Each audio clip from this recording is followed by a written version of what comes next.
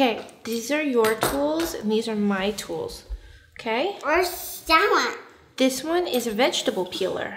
Hey guys, the weather is getting chilly and we're craving something cozy and delicious. So today, Sisi and I are gonna be making chicken and pierogi dumpling soup using Mrs. T's pierogies. It's super easy, the kids love it, it's stick to your bones good.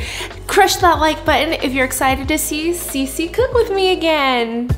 All right, so first we're gonna get started with prepping the vegetables.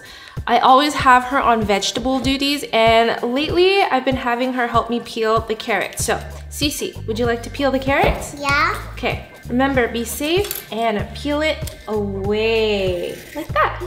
Have it flat, peel it away. While she's working on that, I am going to chop the celery. You're doing a great job, Sisi. So is the carrot hard or soft? Hard. What color is it? Okay. Orange. What is mommy cook? What is mommy chopping here? Celery. That's right. Sisi, when you cut onions, carrots, and celery, you're making a mirepoix. So I love this recipe because inherently you have a lot of vegetables in here and I'm always, always trying to sneak veggies in their, their food. That looks good, Sisi. Do you want to do the other one?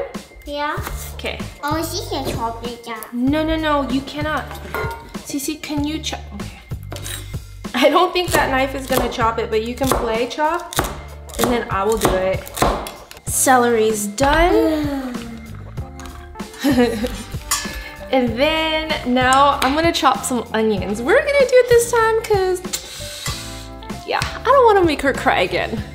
Okay, Sisi, is this a whole onion or a half onion? Onion. That's right. Okay, can I have it? Can you peel this one? Yeah. Okay, thank you so much. Um, remember last time when you cut the onions, it hurt your eye? Maybe next time we can use goggles. So I'm just gonna give the onions a rough chop. Great, we're done with the onions. Chop the carrots. Pumpkin vegetable. Okay, carrot is a vegetable. Is it your favorite vegetable? Yeah. What's your favorite vegetable? What other vegetables do you like? Broccoli. Broccoli. Is it because it looks like a tree? Yeah.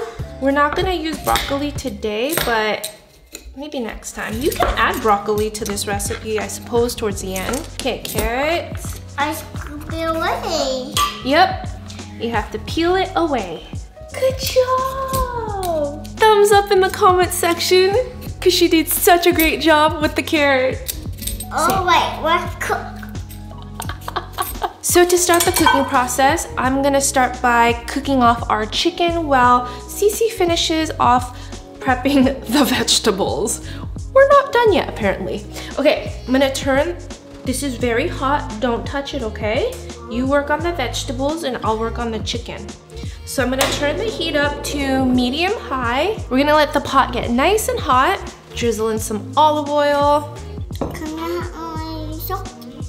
You want some salt? Yeah. Okay, are you cooking already? Yeah.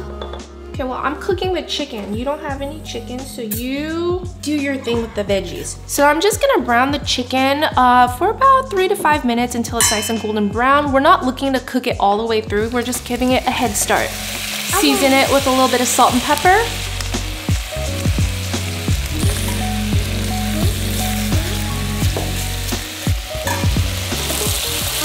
Wow, good job cooking. You're already ahead of me. What are you making? Broccoli. You're making pierogi soup? Yeah. All right, the chicken is looking good. So I'm just gonna go ahead and transfer it into a different plate.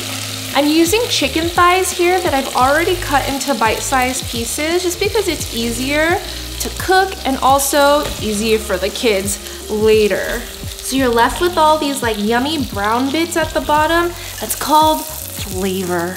So we have all of those ready. Sisi, you wanna help mommy add the vegetables? Yeah. Okie dokie. Oh, and peas. Oh, we'll add that later, okay? Oh, I want to pee. Okay, so we still have a little bit of oil in here. Can you add the onion? Yeah. Can you pour in the onion? I want to do it. Okay, wait, wait, wait. Okay, you can pour it in there. Can you pour it in here? Can you dump it in the, the big pot? Yeah. Oh. Too close? Okay. We're gonna saute the onions first for a couple minutes until it's nice and translucent. And don't worry about the bottom browning too much because we'll deglaze the pot later. I'm gonna deglaze the pot with just a little bit of broth. Now we're gonna add the celery and the carrots and garlic. So now I'm just gonna saute the vegetables for a couple minutes until it's softened up. Sisi, what's in here? What do you- Vegetables. What do you see? Vegetables. What's this? Celery. Are you too? Yeah. Did mommy put garlic in here too? Yeah. Yeah. That is called a mirepoix. I'm calling Nirapa. That's right. It makes your soup taste good. Keep all better again. Mhm. So the vegetables are all cooked. So now we're gonna make a roux. Can you say roux? Roux. Okay, roux is basically when you add butter and flour. Oh, right here on my bowl. Okay, just a little bit for you because I need this. So you have butter. Dirty. And then let it melt. And then you can add a little bit of flour. Okay, now mix, mix, mix. This will help thicken up our soup later. That looks great. And now we add everything else in, like the thyme, oregano, and chicken. And then to make it nice and soupy, we're gonna add two things. We're gonna add broth, and then Sisi, we're gonna add some milk. Okay. Yeah, how many cups is this? One. That's right! Okay, do you want a little bit of milk too? Yeah. Milk. If you guys want the full recipe for this, I will leave it in the description box below. Okay, so once we've added the milk and the broth, we're gonna go ahead and add the frozen peas as well.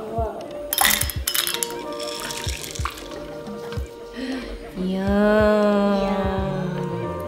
I'll give it a stir and then now we'll let it come to a boil, then we'll let it simmer for about 10 minutes before we add our Mrs. T's pierogies. So our soup has been simmering for about 15 minutes now. It's thickened up, it's nice and bubbly. And now for the dumpling portion of our soup, I'm gonna be using Mrs. T's pierogies. It's a great substitute for the classic dumplings. Sisi, do you want regular size or mini size? Mini size. Mini size, of course. Why did I bother asking? The mini pierogies are a classic cheddar flavor that's filled with sharp cheddar and creamy whipped potatoes. Let me open it for you and then you can have some in yours. Oh, okay. How many? One. Just one? Yeah. Okay, here you go. What shape is that? Circle. Half circle. Half circle. We eat these a lot, so she knows her stuff. okay, so I'm gonna add, it has to cook though. So I'm just gonna add the pierogies. I like the regular size ones, so I'm gonna do a bit of both. But I'm gonna drop the pierogies in there and boil them for about seven to 10 minutes until they're nice and soft. The pierogies and classic cheddar add big, bold flavors to your everyday meals. Mrs. T's pierogies are simple and easy to prepare whether you boil, bake, saute, fry, or grill them. Okay, just give it a good mix and we'll just let it simmer for 7 to 10 minutes until the pierogies are softened, nice and cooked. Our soup's getting nice and thick, so let's just give it a taste. We always have to taste our food to season.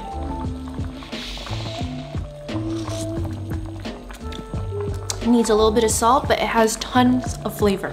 Just a little bit of kosher salt. I love how the pierogies just float to the top. They look so beautiful. I think we just need a couple more minutes, and then we can eat.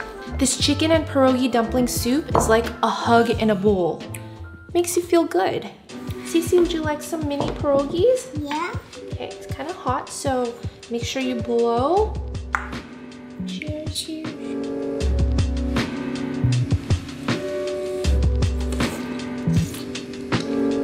Mmm, mmm. It's delicious. You try some too. Try the small one.